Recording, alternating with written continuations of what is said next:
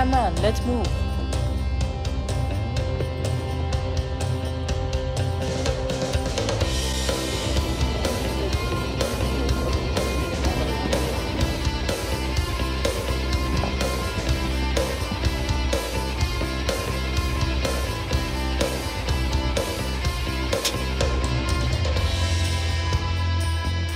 Science sucks.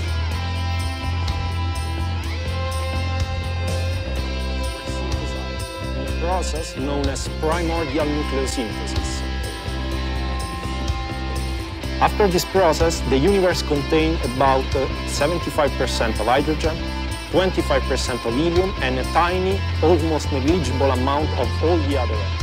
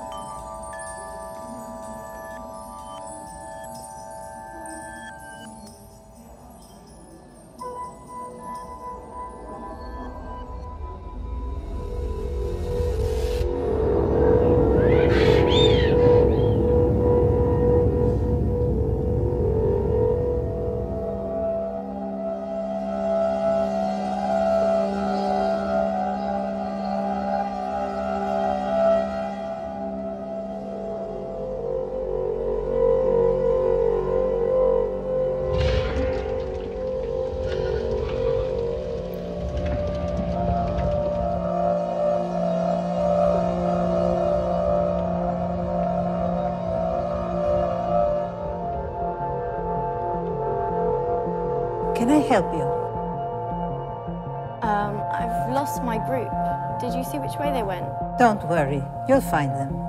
What's your name? Alma? Beautiful name.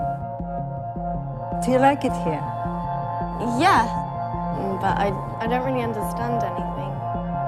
Well, maybe if you could see it closer. Come with me.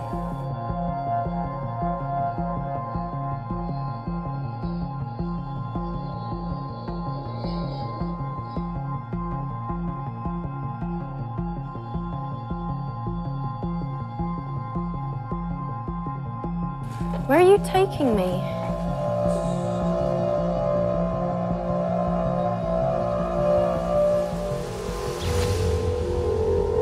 I've got stuff to do with Lucy, and they'll be waiting for me at home. Oh, that's so cool. There are so many stars. This is our galaxy, the Milky Way. It contains approximately 100 billion stars. The European Space Agency's satellite Gaia has identified almost 2 billion of them and is discovering thousands of new ones every day. Wow, it's like a map of the galaxy. And where's my home? Well, the sun is there, and we're a bit suburban in the Orion arm. Do you want to see it closer? Sure, but we'll be going back to Earth later, right?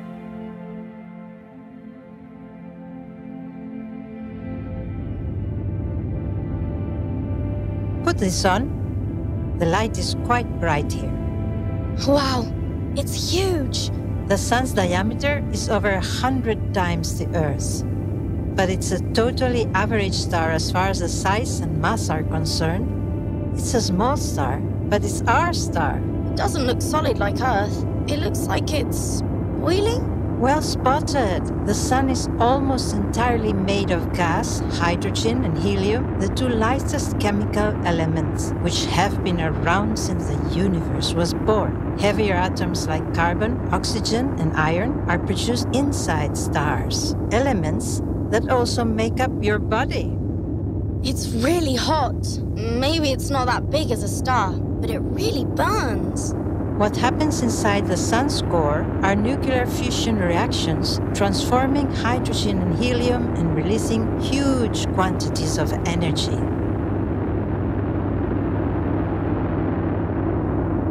Have you ever heard of Einstein's equation binding mass and energy? Actually, I haven't.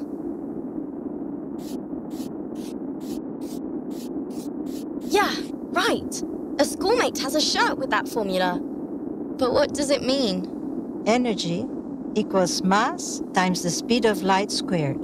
Inside stars, for example, mass transforms into energy. Is that why it's so bright? Indeed, every second approximately 600 million tons of hydrogen are transformed into 596 million tons of helium directly.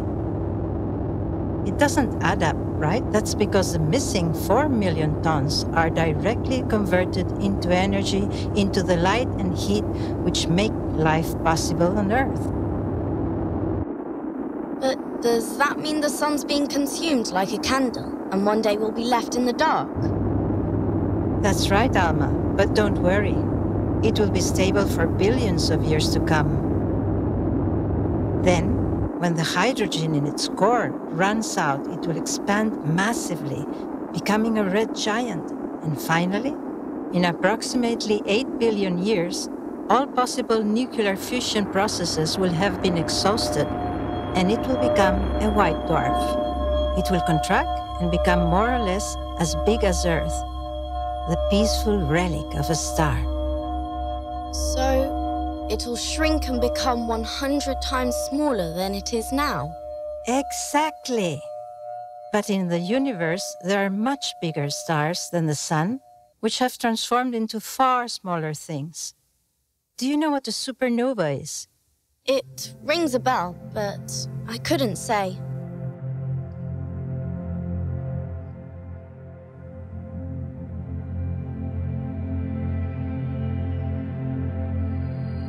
Do you see this star? We call it a blue giant. It's many, many times bigger than the Sun, and it has 10 times its mass. Stars that big consume fuel for nuclear fusion much faster. And when they run out, they explode in some of the universe's biggest explosions supernovae. That sounds kinda scary. On average, there's one supernova explosion per century within our galaxy. Since none have been detected since 1604, you'll probably see one in your lifetime. But don't worry, it's very unlikely that it will happen close to us. And it will not cause any damage to Earth if it is at a safety distance of a few hundred light years. If they're so rare, how do we get to see them? Thanks to modern telescopes, such as the European Southern Observatory, we can see supernovae in faraway galaxies too, and we see many hundreds of them every year. The last supernova visible to the naked eye appeared in 1987. Look at how bright it was. This other supernova exploded in 1054, and that's the nebula we can see today. It's wonderful. It really looks like the leftovers of a huge explosion. But why won't the sun become a supernova and some other stars will? What's the difference? Larger stars have a much higher gravity than the sun. When the fuel starts to run out, nuclear fusion processes become unable to compensate for gravity. Then, the inner core of these stars suddenly collapses and the star explodes. Supernovae are so luminous that for short periods they may emit more radiation than an entire galaxy. And what's left of the star after the explosion? Well, that's where things get really amazing. The star's surface layers are propelled into deep space and form nebulae, which I personally find very beautiful. The energy of the explosion is so high that elements heavier than iron can form. Gold, for instance, can be formed inside a supernovae. Wow, but where does it end up? It depends, sometimes inside a pocket.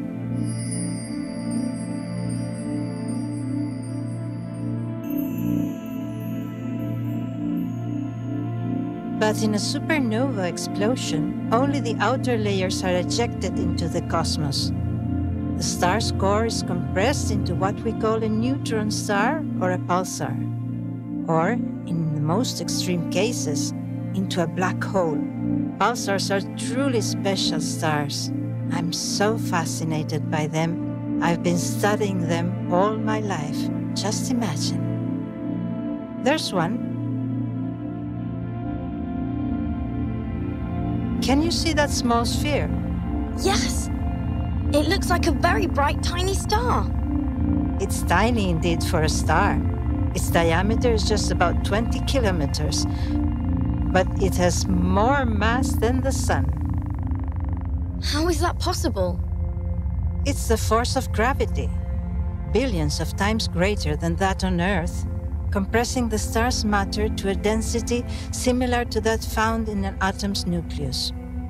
It's so dense that a teacup's worth of neutron star would weigh more or less as much as Mount Everest. Wow. It's so small and far away. It must be really hard to see, right? Yes. Our vision is limited. To see it properly, we need devices sensitive to radio, X, and gamma radiation. This is why the European Space Agency builds huge X ray satellites like the XMM Newton or the Future Athena Observatory. Have a look through this screen sensitive to X-ray radiation. Now I can see a very intense light flashing on and off. And if you translate the radio flashing into sound, you can listen to them too. Here.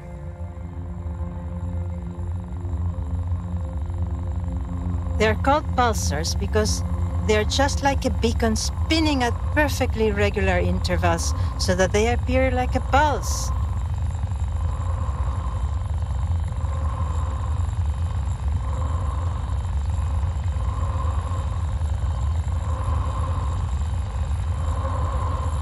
This very intense beam of radiation is produced by the pulsar's magnetic fields, billions of times more intense than any we can produce on Earth.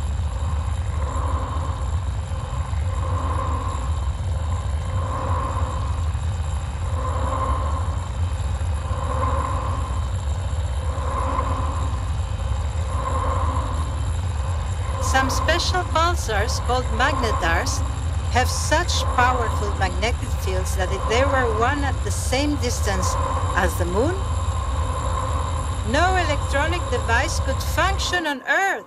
It's good that they're so far away from us. Why is it spinning so fast? Have you ever seen a skater training? Sure. A friend of mine is a skater. I've seen her. And what does she do when she wants to do a quick pirouette? Let me tell you. She pulls her arms in. Because she knows the more compressed her mass is, the faster she will spin. That's why pulsars spin so fast, up to hundreds of times per second if they're young, with perfect regularity. Like a beacon spinning on itself really fast. At first, these pulsating signals seemed inexplicable. This phenomenon was first observed in 1967, just a few years ago, if you think about it. Although it might seem a long time ago to you. A young 24 year old woman scientist pointed a radio telescope to the sky and picked up some mysterious signals. They were so perfectly regular, people even thought that they had been sent by aliens. It seemed to be some mysterious language. But it was the first pulsar ever spotted in history. And it was discovered by a 24 year old woman. Yes? Does that surprise you? No, it's just that I've never heard about any famous women scientists so far. But what use is it to have discovered pulsars? I mean, what do we do with it, apart from knowing it? Well, for instance, by emitting such regular signals, pulsars can be used as a sort of cosmic GPS navigation device. They are the most precise clocks in the universe, and thanks to this characteristic, with some sophisticated device, we can determine our location very precisely and orient ourselves in the galaxy. Does this mean that we have some kind of space coordinates? Exactly. Many years ago, the Voyager probe was launched into space and is currently the farthest man made object from Earth. It has already left the solar system. Do you know what we put on the Voyager to explain to a hypothetical alien civilization how to find us? A gold plaque showing Earth's position with respect to 14 pulsars. Cool. A kind of space message in a bottle. You know, I thought the cosmos was much more boring. But there's amazing stuff going on out there. Indeed. And that's why I'm so passionate about it. Come with me. I'll show you some very special pulsars. Here we are. Some pulsars have a companion, and we call them binary pulsars. See how they dance around each other as they lose energy, generating waves that can deform space-time gravitational waves. Now look, those neutron stars are about to merge into a single object. If their total mass exceeds three times that of the Sun, they will become a black hole, the most extreme object in the universe, so dense that even light cannot escape its gravity. Isn't that breathtaking? They've become a black hole! Amazing. I've heard about them a lot. Black holes can grow by gobbling up matter, right? Exactly. A black hole can keep on growing for billions of years. There are black holes with a mass millions of times that of the Sun. They are the heaviest objects in the universe. Just imagine. Every galaxy contains a supermassive black hole at its center. The Milky Way has its own as well. It's called Sagittarius A star. Let's go and have a look.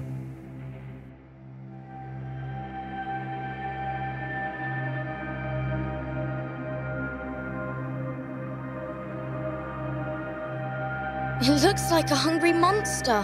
Yes, it's quite voracious. It swallows gas and stars and continues to grow. Black holes are very difficult to see. We only very recently managed to capture an image of the black hole at the center of M87, a galaxy close to the Milky Way.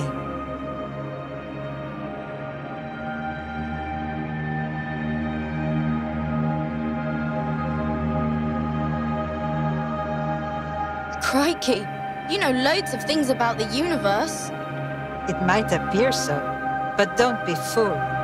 You have no idea of how many things are still to be discovered about the universe. Just think that 85% of the matter in the universe is invisible, and we have no idea what it's made of. We call it dark matter. That's kind of a scary name. Look, there are approximately 100 billion galaxies in the universe, each of them with approximately 100 billion stars, and dark matter permeates everything. Maybe one day you will be the one discovering what dark matter is made of. I'd never have thought so, but I'm beginning to think I might like to. Great! So we can meet again. Maybe next time you'll explain a few things to me.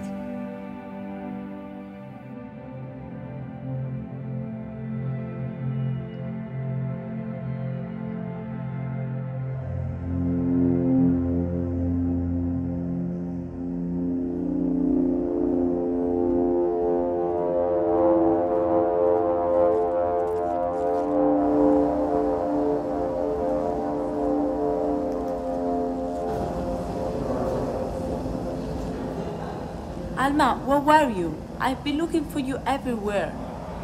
Hurry up, we're leaving. Lucy, you'll never guess where I've been. Yeah, with your head in the clouds, as usual.